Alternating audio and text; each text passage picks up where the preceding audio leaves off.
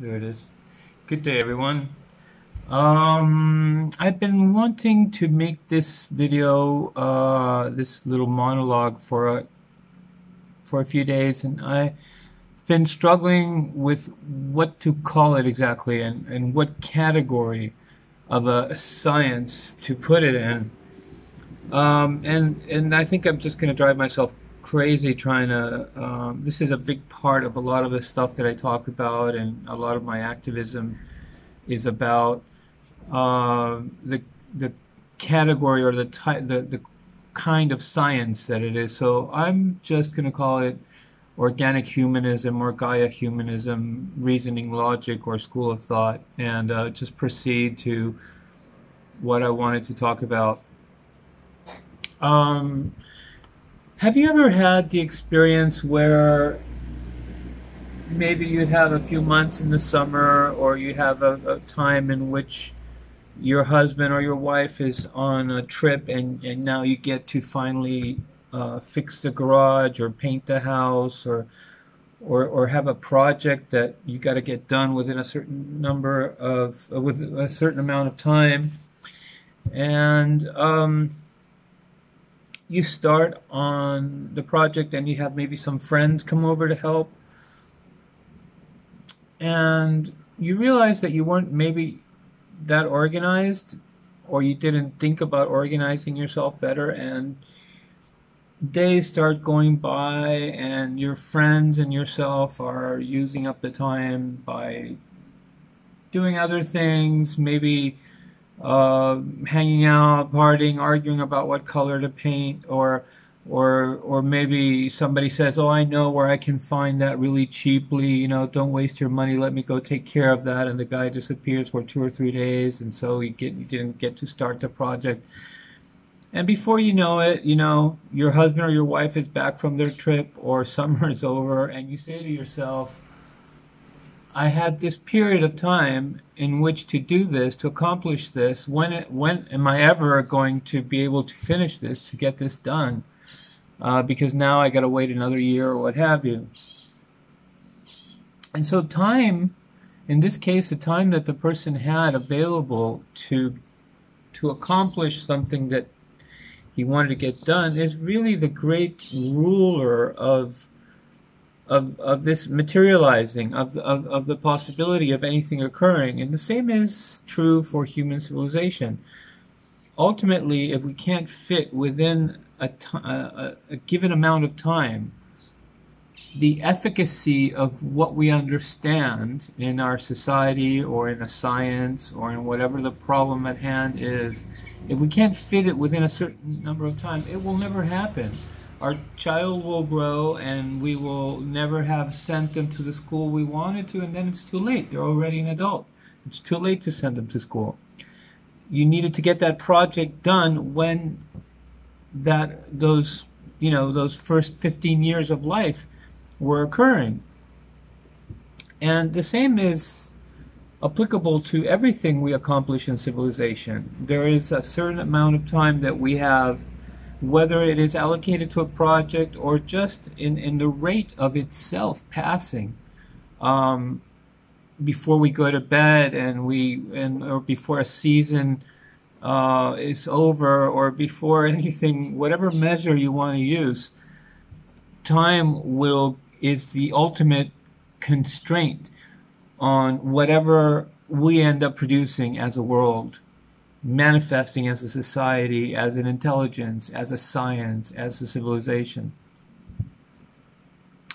So, in this time of uh, what I, you know, since since a lot of us have been so active on the internet, doing our own form of cyber activism, some of us, some of us just entertain ourselves.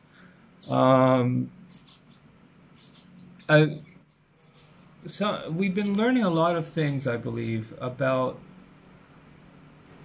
how people argue, how things go down, and as far as uh, diagnosing problems, uh, providing solutions, how many people are able to provide solutions, or or or what the different perspectives are, and how difficult or how often somebody will shed a different kind of light on a, you know, and all the, the problematic and the argumentative dimensions of situations are, are, are able to be looked at on the internet as easily as you can see it on your screen because you can see arguments written in a written form and you see what the typical response to a kind of overture or a perspective on something uh, usually is. Um, and so the state of argumentativeness, if we could call it that, of society is very expo- is very able to be mapped out and seen on, on the internet. And one of the things that I've noticed, and, and this, you know, I'm able to also um, work in two languages, and so I see what happens in different societies uh, regarding their local problems. And I'm in a third country, so I'm kind of in a, I'm able to create a, a sort of a, um, a, a, spatial traveling within, you know, uh, different perspectives on on on some often the same problems. And one of the things that stands out is how combative in a in a confrontational manner of, bi, bi, uh, of bipolar of polarity and binary kind of uh, taking sides uh, forms of arguments are happening. You know, everybody is about either being liberal or or conservative or socialist and or capitalist or being progressive versus um, whatever. Um, you know, um, conservative. In any case, and it all seems to, you know, what people are actually talking about are issues that uh, ultimately are are are uh, are human or uh, are of human organic nature.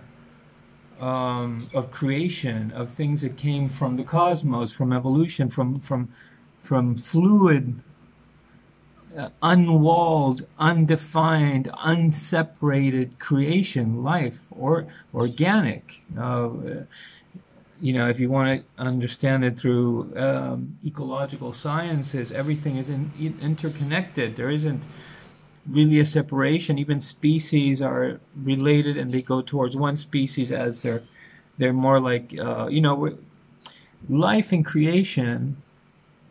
Gaia is just a, a will of the cosmos. It's like uh, uh, the the conditions are right on a planet and the distance from the star and what have you, and all of a sudden all this stuff starts happening with water and and temperature and agents and chemicals and biology appears and um, and and this marvelous explosion of life happens on a planet, uh, and and with it comes human beings.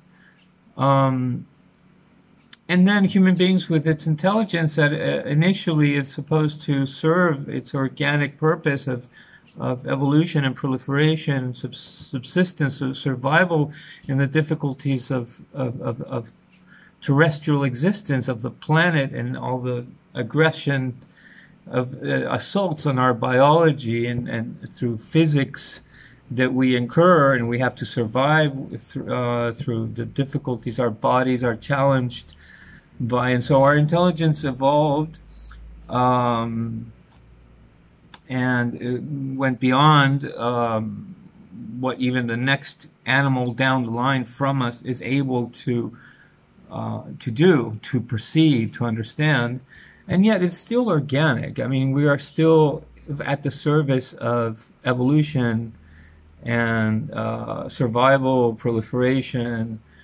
Um, and um, and yet we tackle subjects like sexuality, for example, that is organic, that is not categorized. It's got two genders, as we can see pretty much universally um, throughout at least the world. It seems it would go beyond the world uh, as as as a component of of uh, of, of life, of create, uh, of, uh, of life that appeared on the planet, you would guess it's not limited only to life on this planet. The uh, the the predilection of sexuality to be a fusion of two opposing complementary um, uh, genders that are separate, and, and then they when they must uh, uh, they must um, uh, complement and complement other to create a, the, another little combustion explosion of life to occur, and and then the two genders get again uh, determined. Um, and so, other than very few things that we could say clearly it is this or that, um, life in itself and all of the aspects that are about humanity are organic. They're not really categories. They're not really.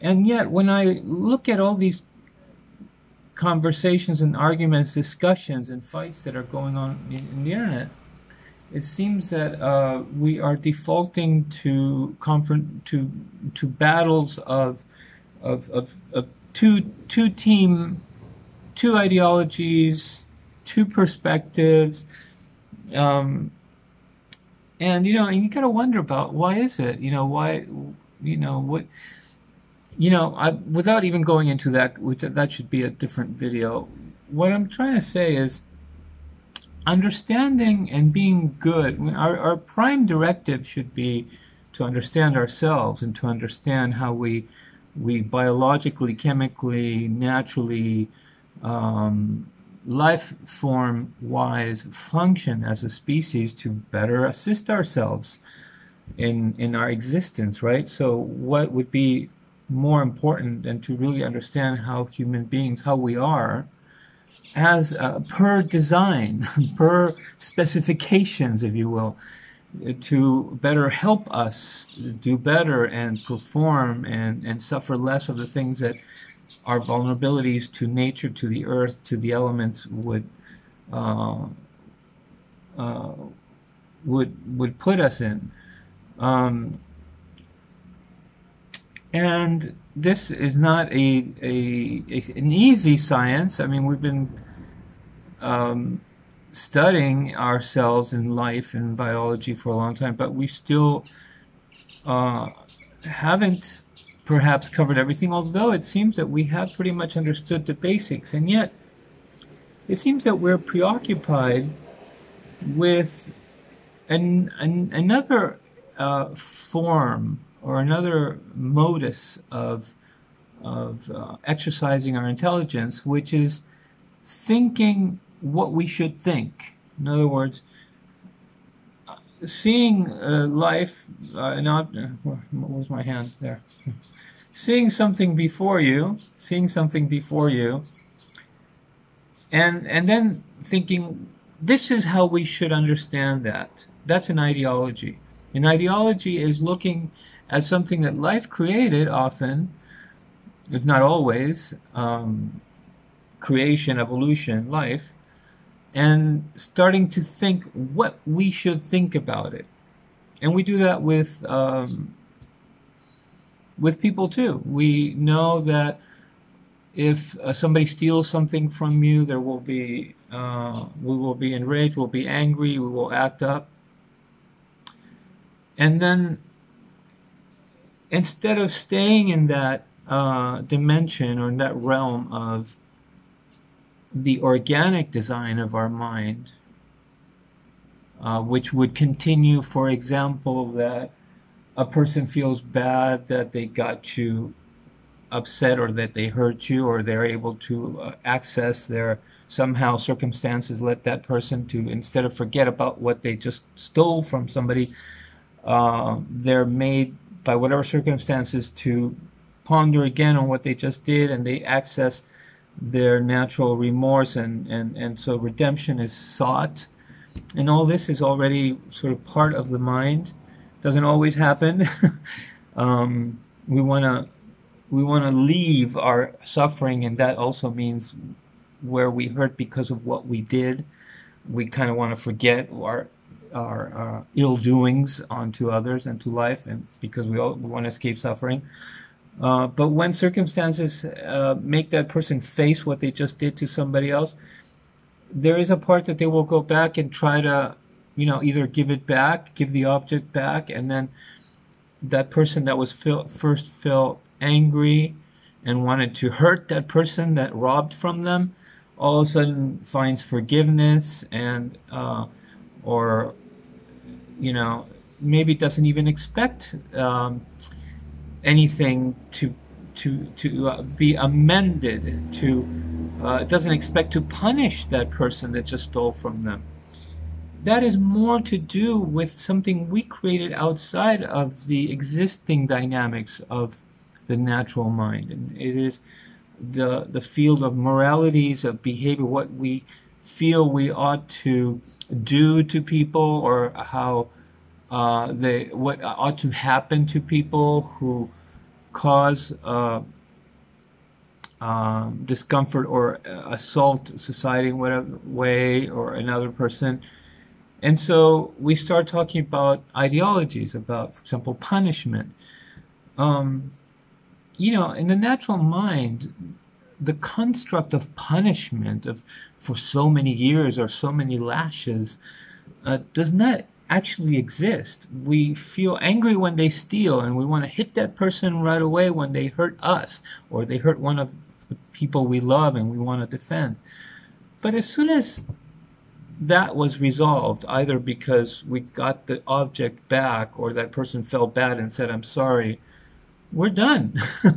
there, there is, we we continue to learn about ourselves and continue to grow and, and, and make our societies work. It is, the uh, analytical or logical precocious intelligence or the scientific mind and highly elaborating intelligence capacity that mankind has that not only created sciences that are very good at exploring and discovering things, but also went into the field of of ethics and morality, and that's where we started messing really badly against ourselves socially uh, and, and, us, and, and, and curtailing and limiting what we would otherwise perhaps have a much easier time in, re, in resolving socially.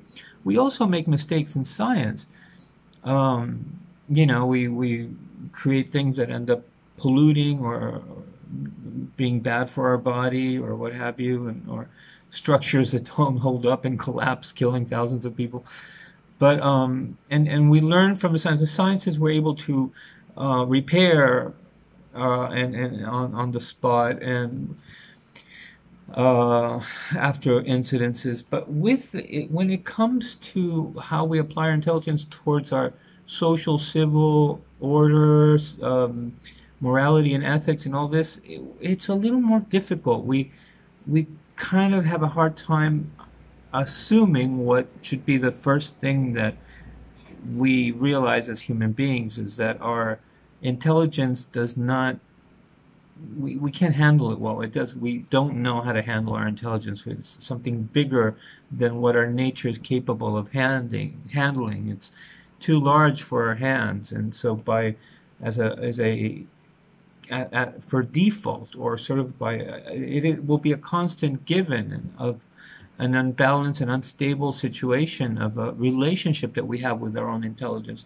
Like when I, uh, like I said, for the sciences, it's a little more obvious. We can see clearly when we made a mistake, and then the next time around we are better. But when we apply this intelligence towards things about living, how we treat each other socially, and how we address uh, civil, political, um, anything that has to do with humanity, it's a little difficult because we don't, we're still not, we still hadn't, haven't gotten to the place where the first thing we consider is that we're probably wrong. Our intelligence just fails. It can't, it, it doesn't know how to keep, how to serve the collective integrally and not leave anybody out or not, or, or care enough and love enough to stop immediately when we see we're hurting some people or some people are not benefiting from our latest uh, invention or our latest uh, intellectual construction.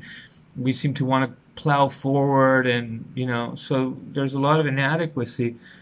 Um, but in any case, going back to where I started this video, um, it is, I think it really behooves us to uh, diminish the amount of uh, effort and time we are spending on ideologically prescribing what we ought to think about people's behavior and, and, and what kind of ideological category or or school of thought or what kind of um, um, sort of uh, class of of uh, intellectual thinking, political, what class of political thinking that person is having, so that we can continue to battle, uh, you know, left against right and socialists against or progressives against traditionals, and um, and instead go back to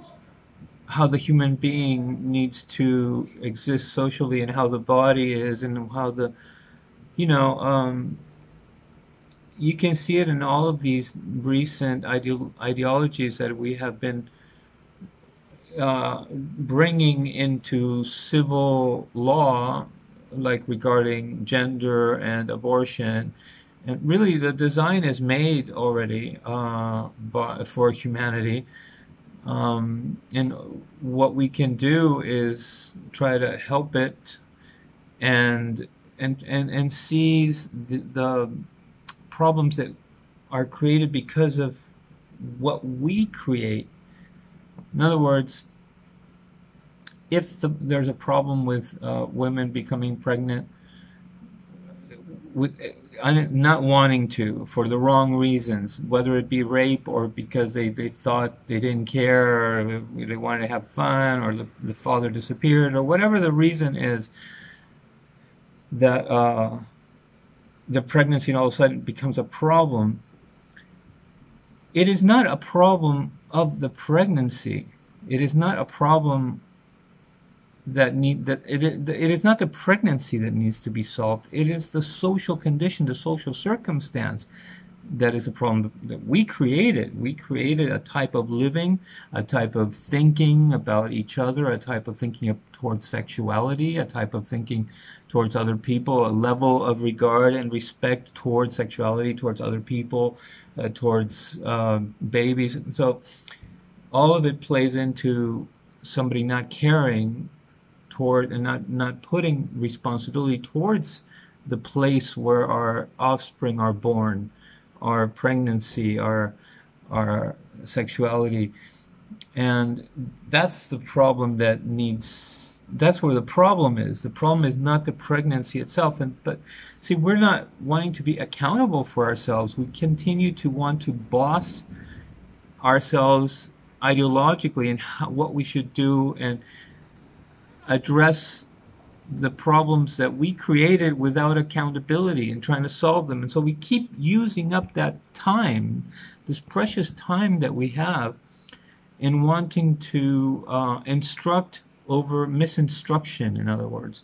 Instead of learning and supporting our design better so that we are uh, the best that we can be, including our the, the, the broader freedom given to us by our um, our perception, the, the the appearance of our will before ourselves.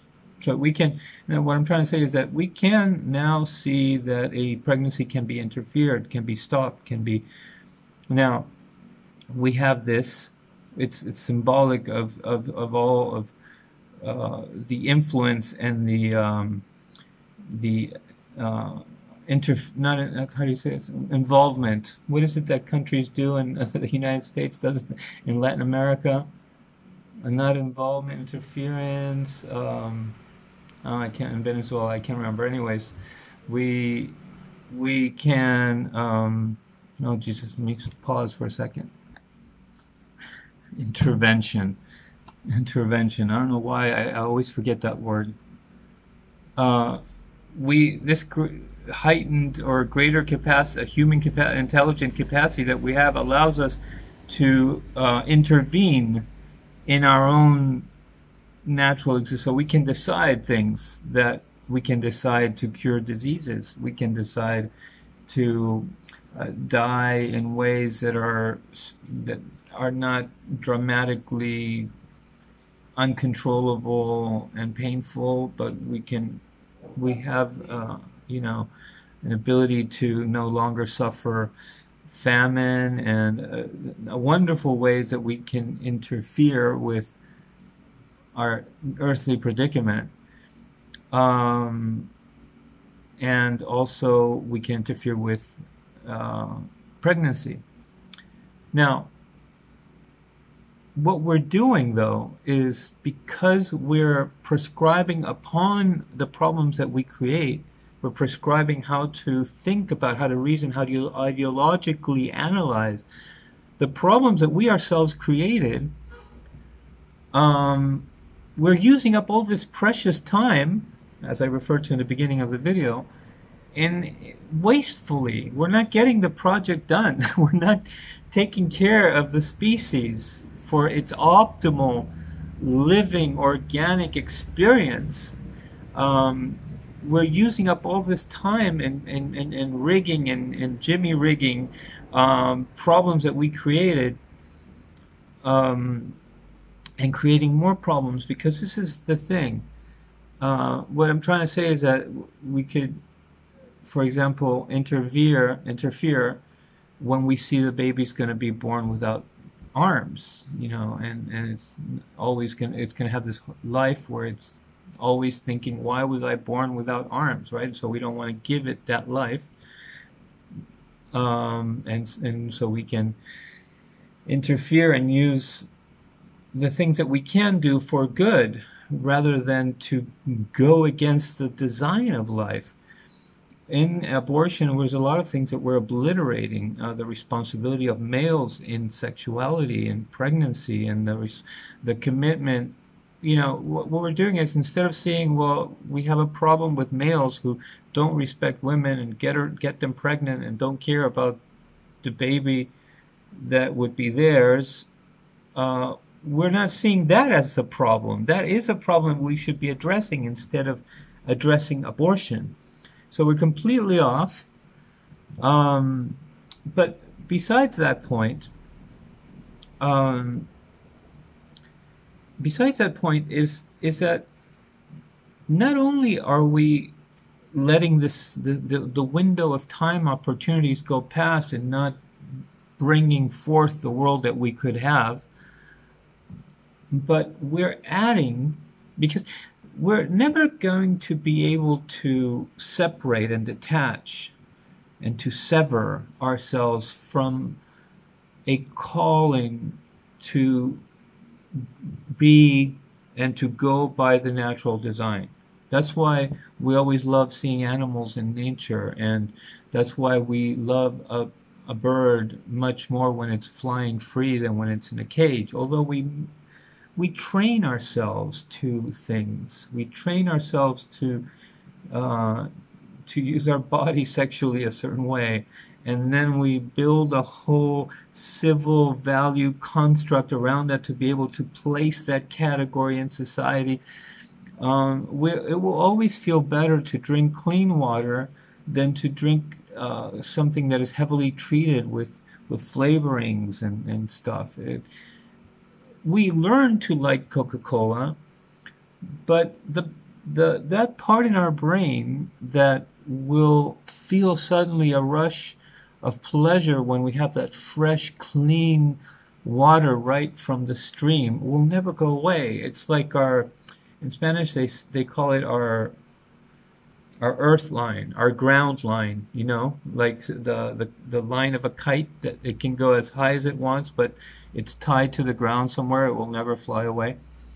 Um, and so, because we have this part of our collective psyche and in each one of us that will always reference ultimate and optimal comfort by our organic natural design. Everything else that uh, that ventures us off into the design that we invented um, will carry with it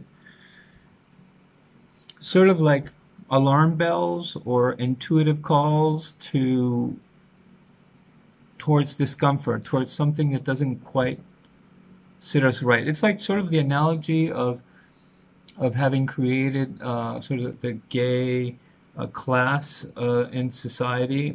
Homosexuality is just an expression of human sexuality that anybody can experience, and to some people, because of some reasons, it feels more like something that they need or or that uh, that uh, um, soothes or calms or uh, is, is sought a kind of a place where love is still needed to be found. And some people instead have like oh yeah i get it. I see there's pleasure here too and everything but you know something is not quite mm, it feels like too much. It feels like this is not something i want to swallow you know but still everybody can experience it for all of its characteristics so it's part of human sexuality we instead had to solve the questions or the problems that were identified and misdiagnosed by creating a social class. What happens? Because it's a part of human sexuality and because it doesn't separate people, homosexuality doesn't separate people into different categories of people.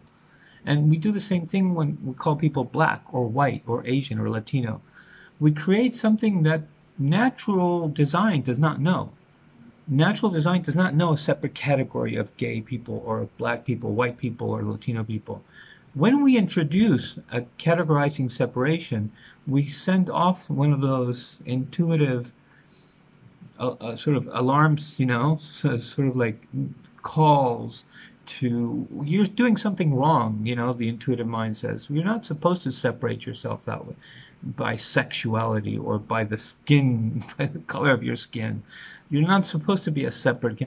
And we don't know it, of course, because everything that we believe is a constantly evolving and layering based on what we educated ourselves before to believe. And so we think that this is just, you know, we have these conditions and, and these problems that need to be solved, and we understand the problem through the problems through these elements. And so people argue within that enormous field of elements that have been around for the longest time, and that's how they are. They that, that those those are the pieces they learn to move around in their argument, and so they don't. We lose touch with uh, those intuitive calls and those alarm bells that very quietly in the back of our subconscious are never letting us, never letting that kite fly away. You know, that cord is always tied to the ground. And so what we're doing is we're creating additional complications that maybe we don't really, we don't feel the growth of those complications below us, but we're spending all that much more time making a complicated world that eventually we're going to have we come around needing to resolve because that calling to the natural organic design will always be there somewhere saying reminding us you're going off somewhere. What have you done? What is this enormous thing that you're dealing with? Now i'm not saying that that um, gaia philosophy or humanist human organic science uh, uh, philosophy would make a sim- an oversimplified world where uh, we would just be like these some science fiction film of like pure, purely dressed in cotton kind of futuristic beings that don't have any complications and just pick food off the trees. No, we have a a demanding intelligence that wants to and can and we ought to do things, but the question is where and how towards what do we apply the capacity to do a lot of elaborate high intelligent things? How do we do we assist uh, what we want uh, which is the organic human being to succeed and to wherever it finds difficulty or wherever its natural design is challenged perhaps help it even help it achieve because nature you know we, we do identify things that nature would not want anybody to be born without an arm, you know.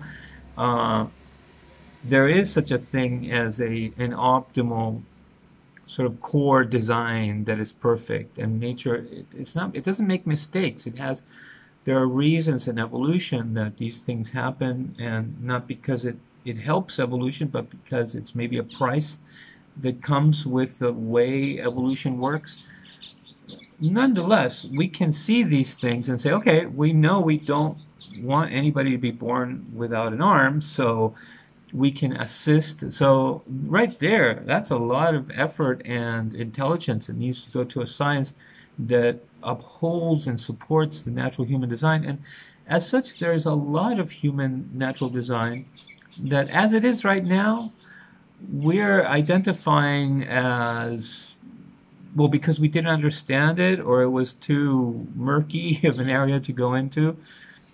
Um, we solved it in other ways, and so we, there's a whole bunch of ways that we're going about civilization that are not really enhancing of how optimally society society would gel and and the mm-hmm. human collective and you know and also I was thinking a lot about this too because uh, all the problems we have must also come from predispositions. And so, why is there so much polarity, confrontation, binary kind of thinking? And the most simple, sensible logic to resolve a lot of our issues are right there, right underneath our noses, and we're not seeing them.